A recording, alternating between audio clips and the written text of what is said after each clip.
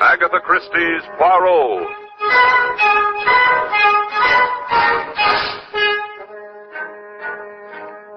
From the thrill-packed pages of Agatha Christie's unforgettable stories of corpses, clues, and crime, Mutual now brings you, complete with bowler hat and brave mustache, your favorite detective, Hercule Poirot, starring Harold Huber in the case of the careless victim.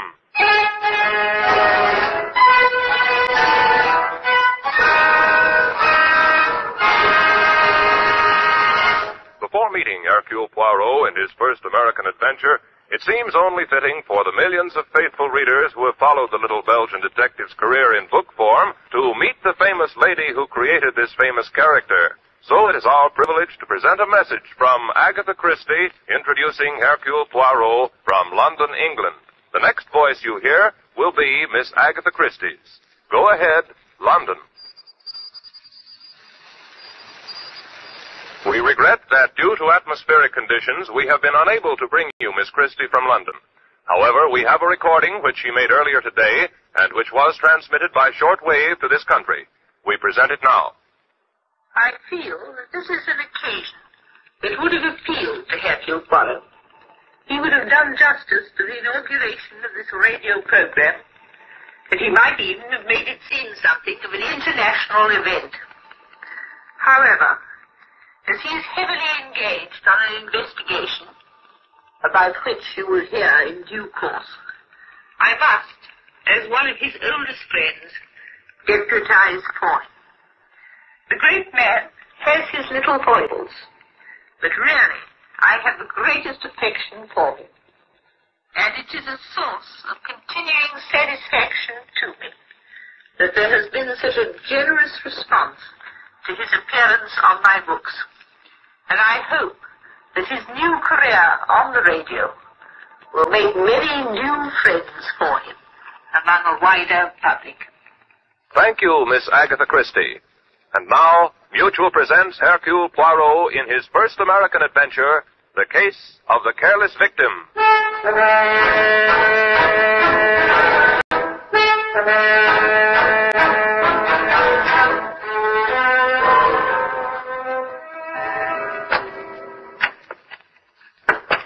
Mademoiselle, Huh? this is the Cozy Home Apartment Renting Agency. Well, we got something to rent, yeah. I have the desire to rent an apartment. Who hasn't? Uh, please, mademoiselle, do not jest. Alors, I have with me a brief dossier of my requirements. Please to read it. Well, all right.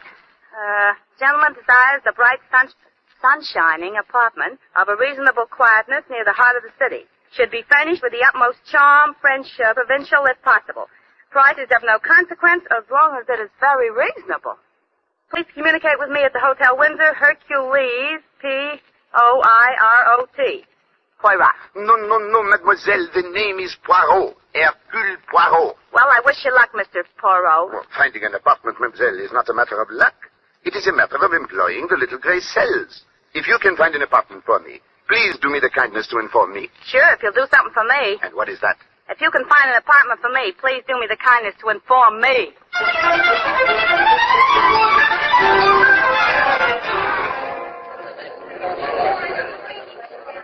Going up. Floor, please. Number five. You are new here, no? Uh, yes, I only came on yesterday. You're Mr. Perrot, aren't you? Poirot. Oh, Perot, uh, one of the boys pointed you out. Hey, I said, fifth floor. Je le prends d'Avignon, l'on est dans ce- l'on est- Oh, a thousand apologies, madame. Uh, no, Paul, it was entirely my fault. Uh, madame appears troubled. Uh, perhaps I may be of some slight assistance. No, I. Well, if you're sure you don't mind. But of course not. You see, it's my door. It won't open. And where is this alternate door? It's eh? right down the corridor, room 515. If I may have the key. But that's just it. The door isn't locked. I left it open only ten minutes ago. Indeed.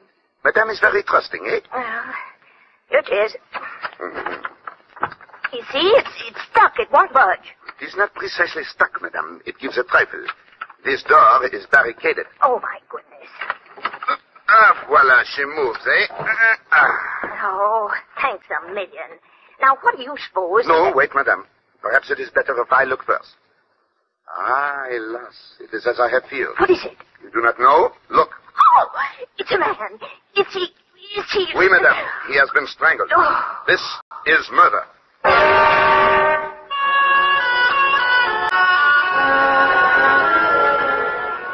Zut alors, I must compliment you, madame.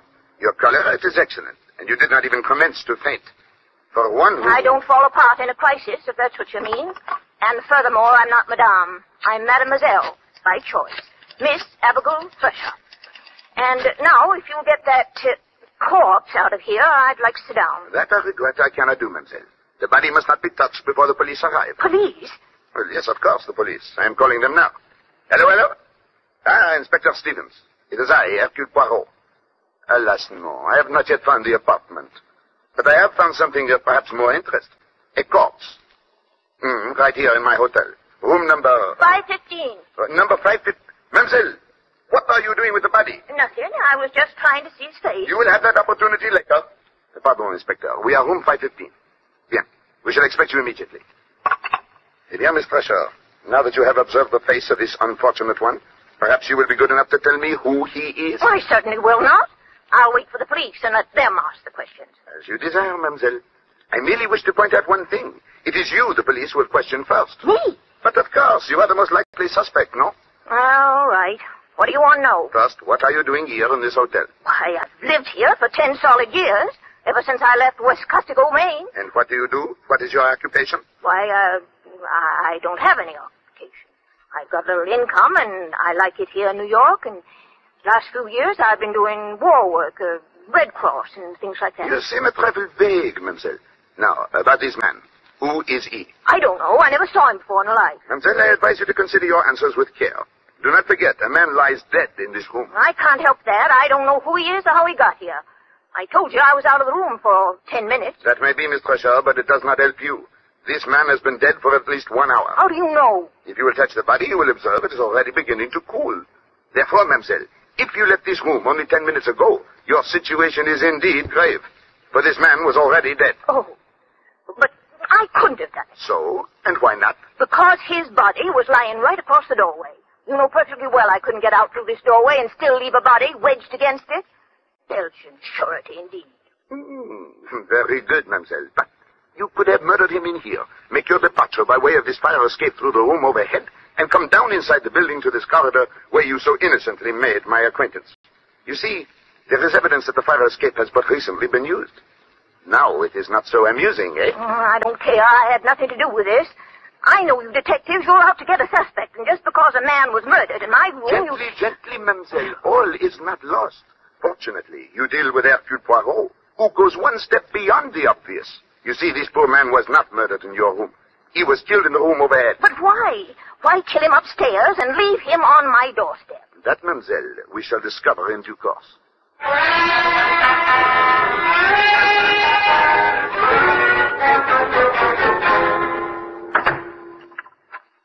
All right, Mr. Perot, now that you've got the corpse safely locked in my room and us outside, what am I supposed to do?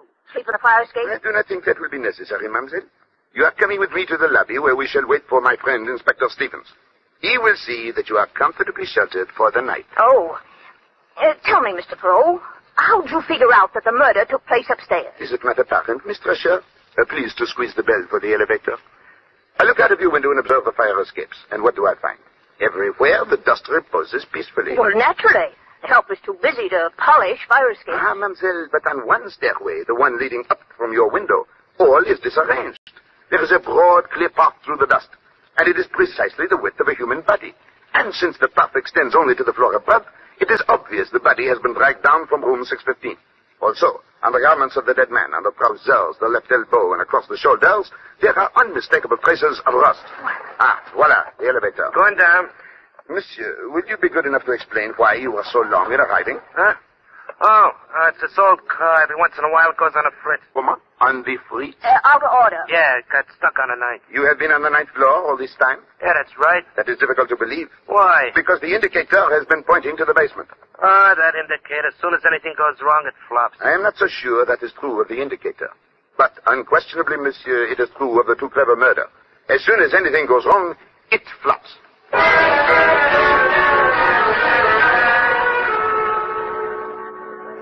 Bien, Inspector Stevens, there is the situation. An unknown man strangled to death in one room and dragged down the fire escape to another. Poirot, if this body is the person I think it is, the commissioner will have my head. Ah, mon ami, forgive me, you seem agitated. And we are warned, too. I assigned my best man to guard him, the smartest cop in my force, Sam Trimble. Good Lord, Poirot, there'll be an international scandal. Gently, mon ami, you go too fast, even for Hercule Poirot.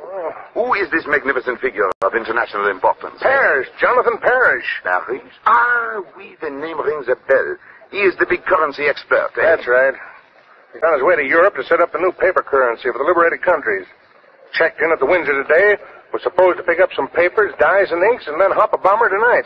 The fifth floor, please. An enormous undertaking, and one of great importance. And I was responsible for his safety. He's supposed to be an eccentric sort of guy. No photographs, no publicity. Trimble was the only man in the force who knew him at all, and Trimble failed.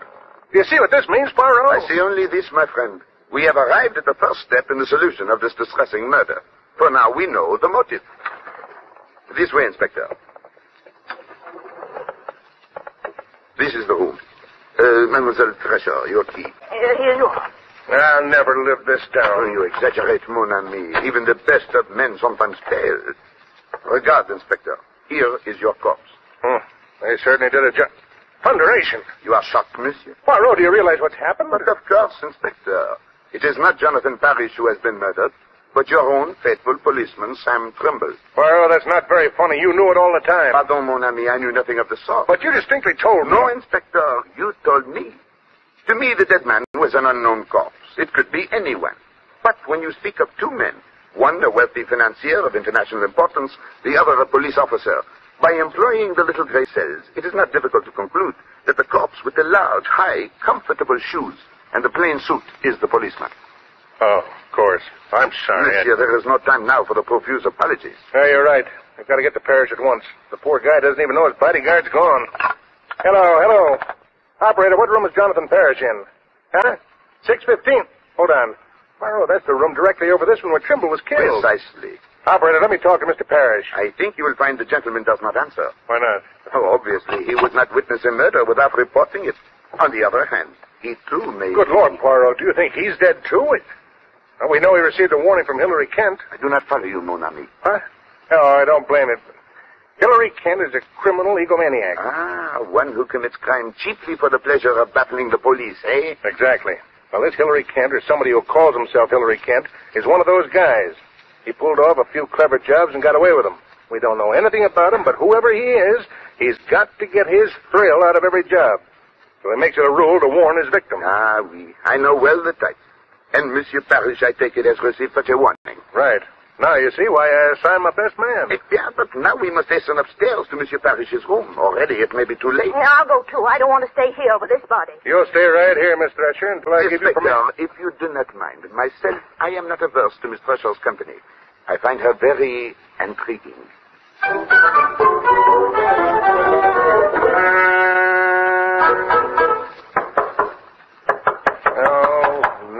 No, no. But naturally, you did not expect the murderer to sit down and wait for us. You will have to employ the pass key.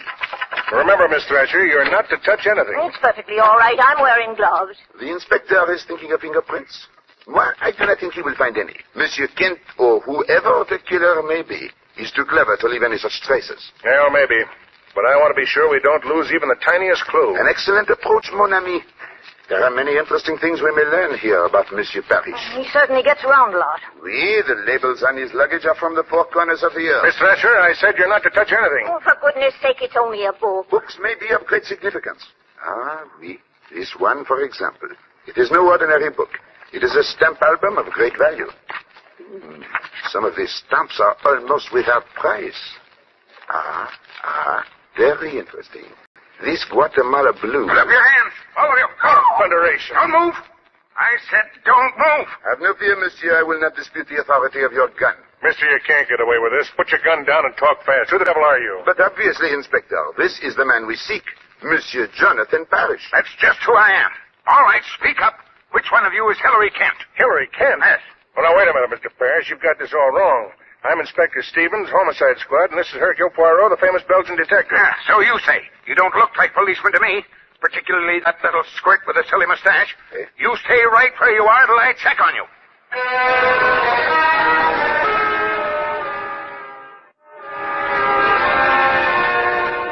Eh bien, Monsieur Parrish, now that you are satisfied as to our identity. Well, I've heard of you, of course. You're supposed to be the greatest French detective in the world. Oh, always people say that about me, Monsieur, but it is not entirely true. I am not French. I am Belgian. Hmm. Well, I wish you'd all get out of here and leave me alone. I'm expecting my daughter, and I don't want her running into a room full of policemen. But, Monsieur, you are in great danger. You must be protected every moment. You are offering me police protection? Huh. Not worth a hoot. I beg your pardon. That's what I said, not worth a hoot. I have protection. Some detective they assigned to me. Where is he? He is dead. What? He was murdered in this very room while protecting you. Therefore, if you do not object too violently, I shall undertake to protect you until you step aboard your airplane. All right, all right, stay. I don't know how long it'll be. I'm just waiting for one little parcel to be delivered. Then I'm off. Monsieur is taking with him much equipment. Yes, quite a load. I've already sent most of it off to the airport. Ah, bon. That is good. Miss, don't eat that chocolate. It may be poison. Oh, nonsense. This candy isn't poisoned. I wouldn't be too sure. That box of candy supposedly came from my daughter Laura. It was delivered a little while ago. But you suspect she did not send it. Well, she's supposed to come here in person. Should be here now, in fact. So why should she send it? You are very shrewd, mon ami. Oh, oh, excuse me. Wait a minute, Johnny. Come back here. What do you want? Uh, nothing. I, I, I just wanted to see if Mr. Parrish got his extra laundry box okay. Yes, yes, I received it. Okay. Excuse me. I uh, picked up a few more things to take along, special dyes and inks. They'll just about filled up that laundry box. Now, excuse me, I've got to go into the bedroom and finish packing. Crusty old bird, isn't he? How would you be if you knew somebody was out to kill you? No wonder he's jittery. Ah, he is irritable and nervous. That perhaps explains it. Explains what? Why he wears upon his feet that unique pair of socks, one of which is green and the other brown. All right, if the man wants to be eccentric, let him be. I've still got a murderer to catch. Do you want to come along? No, Inspector. I have attached myself to Monsieur Parrish, and I propose to see that. Come in.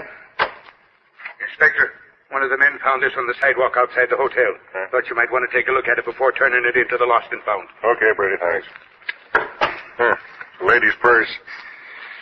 Usual assortment of stuff. Cosmetics, perfume, change, keys. You make anything of a Poirot? Mm, oh, sacre bleu. What is it? These initials, LP. Uh, Monsieur Parrish?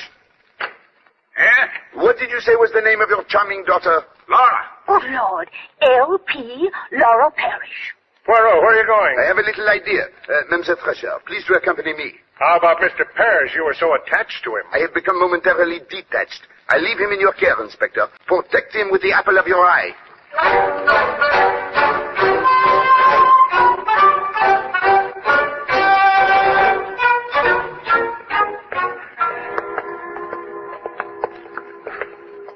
It will not be the first time you have left the elevator unattended, Monsieur Johnny. Come along. Mr. Perrault, you're wasting your time in this basement, believe me. Nevertheless, it interests me. Please to light the way. There's nothing here, just a lot of ash cans. One moment. What is behind this door? Well, that's the laundry bin. We keep the solid, uh, soiled linen in there. You won't find anything in there. We shall take one brief glance, eh? There, you see? Nothing but a pile of dirty sheets and pillowcases. Good gracious, what a laundry bill they must have. Eh bien, let us proceed to... One moment. What is it? Sacre bleu, here protruding from under these sheets. Holy cow. A foot, a small foot, this is what I feel. Look! Ah, it moves. Then we are not too late. Quickly, monsieur, help me to uncover her.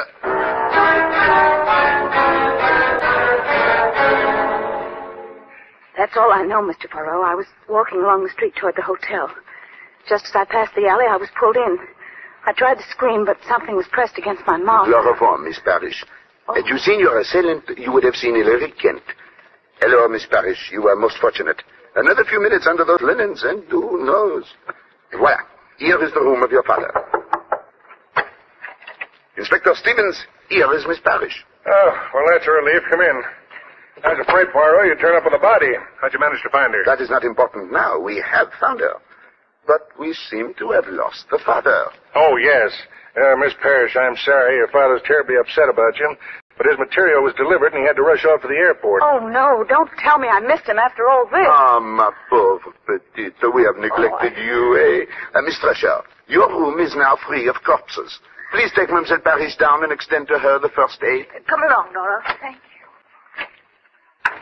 Inspector, I hope you do not later have cause to regret that you permitted Parrish to go off to the airport unprotected. He'll be all right. Besides, I've got a job to do here, although frankly I'm in a complete fog. I can't make head or tail of the whole business. No, Stevens. The head and the tail we have. What? Yes, it is merely a fragment of the middle that we still lack. Oh, who is it? Hey, where, where are you going? To see how Miss Parrish is, and to telephone the airport to see that Mr. Parrish receives the proper attention. Au revoir.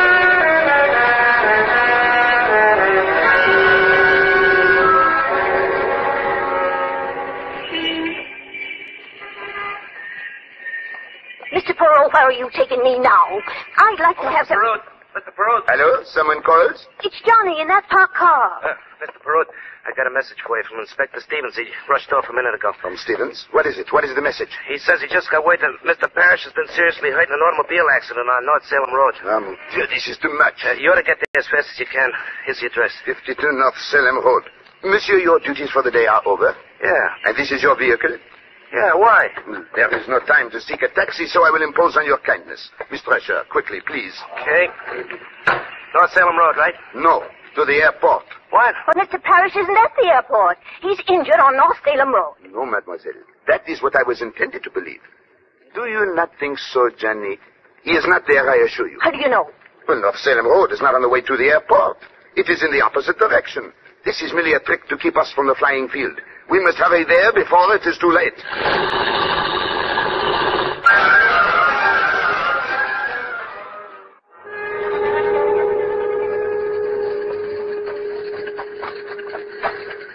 Well, the airplane is still there, but I don't see anything of Mr. Voilà. Over there. Parrish, as large as life. Yeah, it's him, all right. Come along, please. Uh-uh, both of you. Uh, Monsieur Parrish. Monsieur Poirot, my daughter, is she? She is at the Hotel Monsieur Rest. She has had a small misadventure, but she is entirely safe. Oh, thank heaven. You are relieved, eh? Am I? I, I don't think I'd have gotten on that plane if you hadn't found her. Fortunately, I didn't have to. They've been delayed a little. Poirot. Inspector Stevens, I knew you would not walk into the trap. Yeah, but as usual, you beat me to it. I was halfway out to North Salem Road before I realized what was cooking. Eh bien, here is Mr. Parrish safe and sound, eh?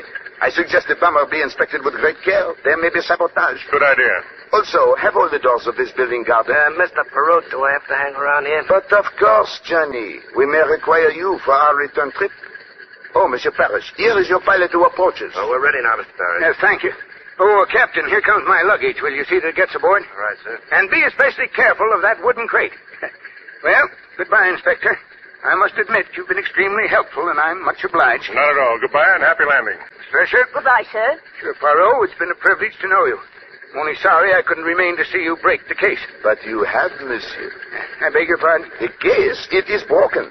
Inspector, meet Hilary Kent, the gentleman to whom you have just wished bon voyage. Hillary Kent. You're a mad, Poirot. Good gracious, I thought he was Parrish. And that wooden crate which I have waited so long to see, it is not to be moved, Inspector. Why not? Because, mon ami, it contains the body of Jonathan Parrish.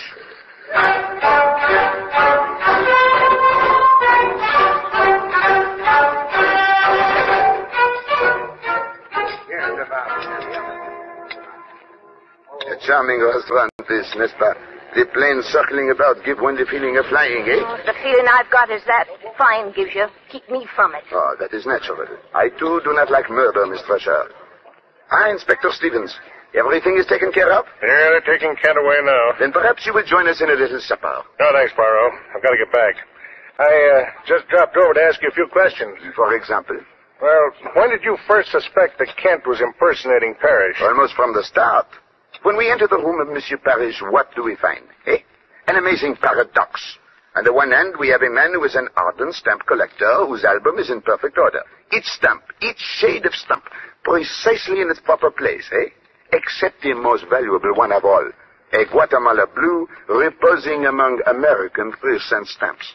Later, when I look at his socks, one green and one brown, I am certain. The man in the room is colorblind. And therefore not Parrish, the stamp collector. More important than that, he cannot be Parrish, the currency expert, who is to select the colors and shades of the new paper money. Eh? Therefore, if the man in the room is not Parrish, who is he? Obviously, Hillary Kent. Then why didn't you arrest him right away? Because without a body, one cannot prove a murder. And I felt sure Monsieur Kent would lead me to the body. Then you weren't guarding him, you were watching him. Precisely. Well, you weren't so smart. When you let him out of your sight, he might have gotten away in the plane. Not at all. When I called the airport, it was to make sure that the plane would not leave until I gave the word. You know everything, don't you? Some things are obvious, mademoiselle. We can suppose Hilary Kent discovers the nature of the mission Monsieur Parrish is engaged in. Ah, what a magnificent opportunity for a swindle, eh? Perhaps the greatest in history. To remove Jonathan Parrish, fly to Europe as Parrish, deliver the papers, uh, the formulas, uh, the dies to the proper authorities, and then, at the moment juste, counterfeit the new currency and reap a huge fortune. Jumping codfish. The man must be mad. Perhaps, mademoiselle, but he is also a genius, eh? He learns that Parrish is at the Hotel Windsor in room 615. He knocks on the door. Parrish admits him and is at once strangled to death, eh? But the body, ah, that must be disposed of, where no one will find it. There is but one thing to do. Take the body to Europe in the very packing case which stands in the room. Then you just guessed where the body was. No, no, Inspector. There was proof in the room. You remember the second laundry box which Hilary Kent asked for? This is for some special inks, he says to us, which I have only now purchased. Obviously, this is a lie. On such a mission, one does not purchase supplies at the last minute, eh? Hence, I know that these inks and dyes have been removed from some other box or crate to make room for the body. Gracious, it's as plain as the nose on my face. Uh, what about Laura Parrish? Oh, I've got that figured out. She calls up and says to Kent, Pop, I'm coming over. Of course, he can't allow that or the jig's up, so he gets down to the alley and eliminates her. Right, Poirot? Exactly. As for poor Trimble, he has been with Parrish. He knows him. When he knocks on the door and Kent appears, he demands to see Parrish. Kent kills him, and since the packing case is already occupied, drags him down to Miss Thresher's room. That was his big mistake.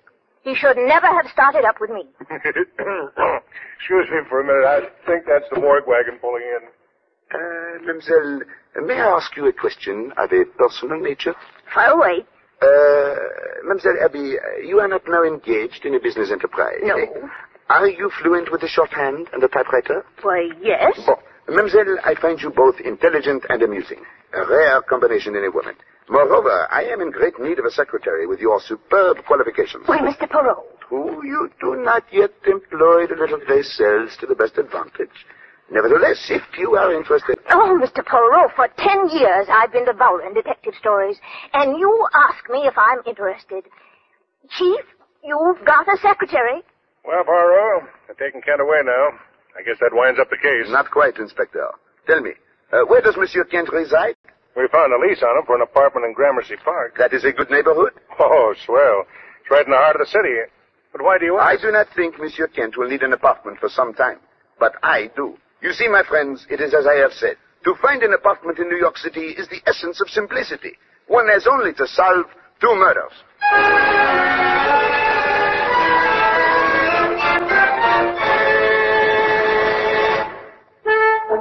Agatha Christie's Poirot is directed by Carl Eastman.